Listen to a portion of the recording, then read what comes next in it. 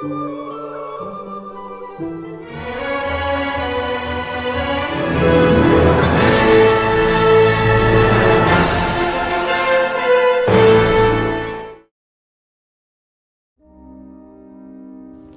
know, it ain't about how big your problem is. It's about how big your God is. Because a lot of times we look at our problems in our life and we think, how am I going to get through this? How am I going to overcome this? How am I going to overcome this obstacle? This just seems so much. This problem, but no, anytime we have problems in our life, we think there's always a but. It's a but. It's, but what about my bills? But what about my rent? But what about my kids? What about my job? But what? Are you going to come to God with your butt? Or you going to come to God and say, God, these are all of my issues. These are all of my problems. I'm inviting you, God, into my problems to help me get through this. I'm coming to you, God. What do you want me to do that's going to help me overcome this obstacle and help move past these obstacles? See, you won't come to God talking about, yeah, I have this, but you know, I have also this, because you realize that you serve an Almighty God, and you realize that, that you're talking to the person that talking to the spirit, the energy source that created you. You ain't gonna come to the creator of you with a but. You won't. Because you look a little foolish. You'll look a little foolish because the creator created you. So they can create anything you need because they created you, right?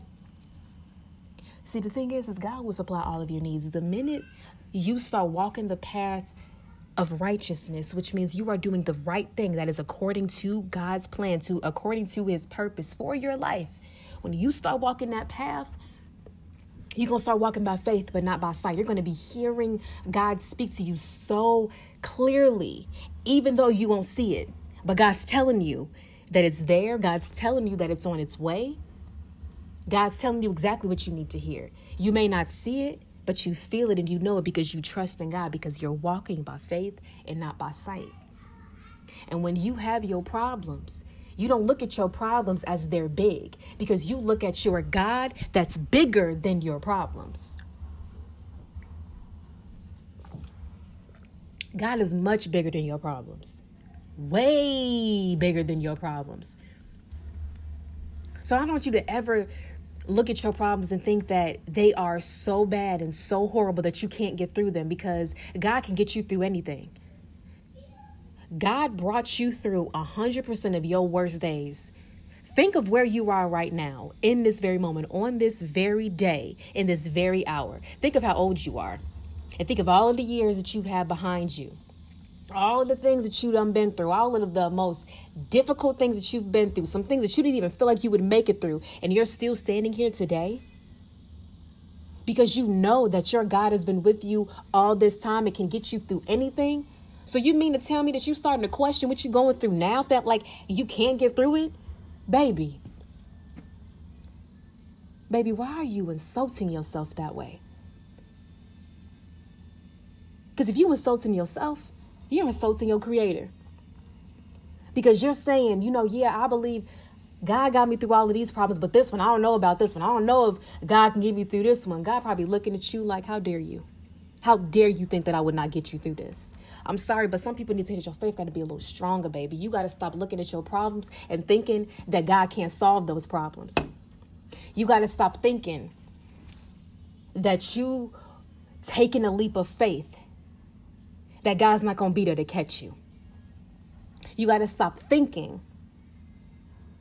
Well, I can't tell you to stop thinking because you're going to think about it. So, how, let me rephrase my question. I want you to start thinking this. Start thinking that when you take a leap of faith, that God's going to be there to support you and catch you.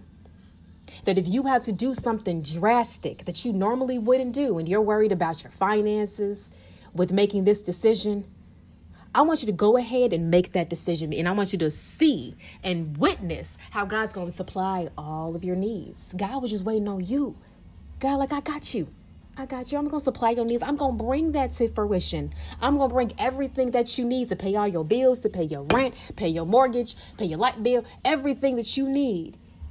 Your car note, your insurance. I'm going to make sure that when that bill comes that you have the money to get it.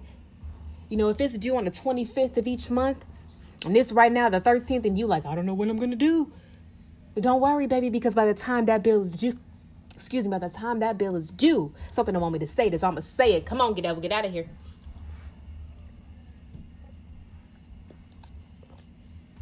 The moment that bill is due, baby, God gonna bring that money to you. I want you to start having faith like that. I want you to start thinking of miracles like that. Miracles that come out of nothing. Because I want you to understand, baby, if God can bring water into a desert, God can bring your finances into a small bank account. Understand this, baby. Understand this. That your problems are very minuscule when it comes to how mighty your God is. And when you know how mighty your God is and how your God is going to supply all of your needs, take care of you, and make sure that everything that you need is going to be given to you, you walk around with a new confidence. And if anybody tries to come in and try to question or, you know, project some doubt into you, you say, Oh, I, I know me and my me and God got it. We fine, we straight. We got it. Because you know, can't nobody knock you off your roster. You know, can't nobody knock you off your throne. Because you know that you are a child of the Most High God. You know that you are regal, royal, reigning queen or king walking this earth. Because you are a child of the Most High God, the King of all kings, the Queen of all queens. Baby. So stop looking at your problems like your God is not bigger than your problems. I want you to write this down. I want you to write this down and I want you to put this somewhere in your house, whether you put it on a sticky note in the mirror in your bathroom, whether you put it on your refrigerator, whether you put it in your car so you see it. And I want you to write this down. Are you ready? Write this down.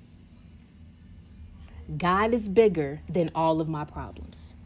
Simple one sentence God is bigger than all of my problems. And I want you to say that to yourself every single day God is bigger than all of my problems, which means that God's going to solve all of my problems, which means that God's going to help me to solve all of my problems. Because you see, God's not going to always solve all of your problems on his own, on her own. No. Sometimes what God is going to require you to do is ask for God's assistance to help you through it. Sometimes we have to be the ones to do the work to get ourselves out of these problems. It's not always God bringing us out, but it's about us having God come in and, and with God working through us, we get through it. Goes both ways.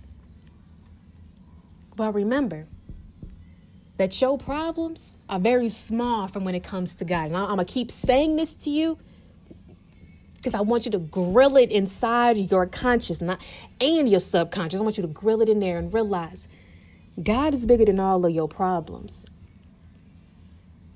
So, whenever you are thinking of making a decision and you're worried about those problems, don't worry about the problems, but know that God's going to take care of it because God told you to make a decision knowing the problems that you already had. And God still told you to make the decision because God's telling you it's already worked out. All is well. So when you think of this, when you have this in your mind, you have a totally new confidence when you walk this earth. Every day you get out of bed, when you walk those floors, when you walk that ground, when you drive your car, you know that God's taking care of you. You know that God's got everything for you. So you don't have to worry as much. You don't have to live in fear. You don't have to live in doubt. Instead, you live in faith. You live in expectancy. You live in love. You live in light. You live in confidence. And faith and confidence is your Godfidence.